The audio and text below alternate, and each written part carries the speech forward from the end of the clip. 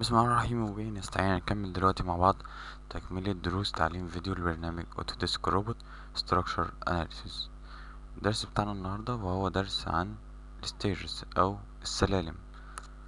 هنشوف الدرس بتاعنا هنبدأ إزاي. أول حاجة ده شكل السلم اللي عندنا.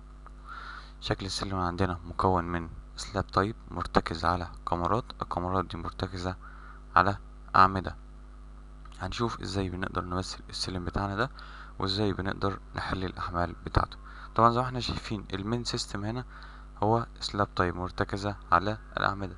طيب الحمل ده بيتنقل عن طريق إيه؟ عن طريق طبعا ال inertia بمعنى إن الكمرة دي ال inertia بتاعتها أكبر فبالتالي الحمل بيروح ناحية ال inertia الكبيرة وبالتالي بيتنقل من الكمرة إلى العمود. هنشوف الخطوة الأولى عندنا وهي خطوة ال axis.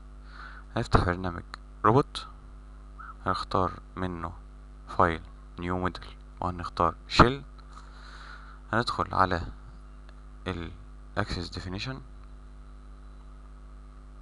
وهنعرف المحاور اللي عندي.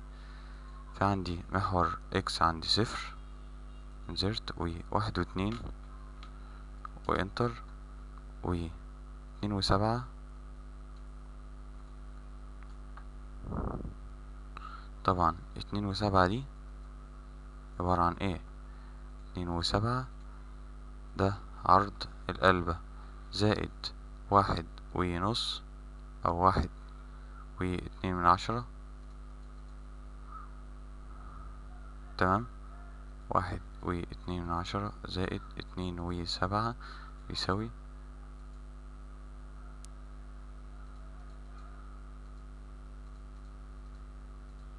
ده هيساوي تلاتة وتسعة من عشرة يعني الانزرت التانية هتبقى تلاتة وتسعة من عشرة وانزرت بعد كده هتبقى خمسة وواحد من عشرة.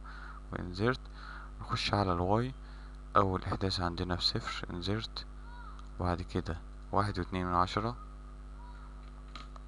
وانزرت وبعد كده واحد وتمانية.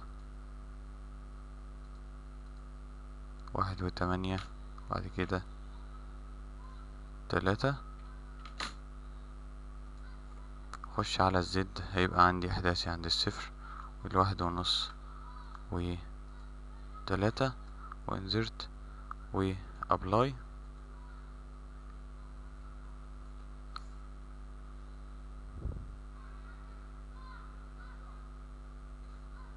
close. وبكده هنشوف الكلام ده في 3 D. وبكده يبقى أنا ظبطت المحاور بتاعتي.